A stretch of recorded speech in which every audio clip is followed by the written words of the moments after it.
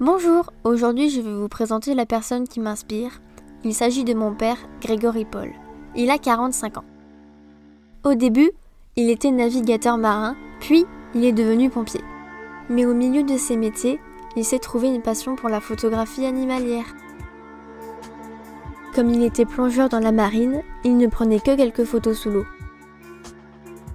Puis, c'est quand on a emménagé à Saint-Pierre-et-Miquelon, à côté du Canada, qu'il a commencé à prendre des photos des animaux et du paysage.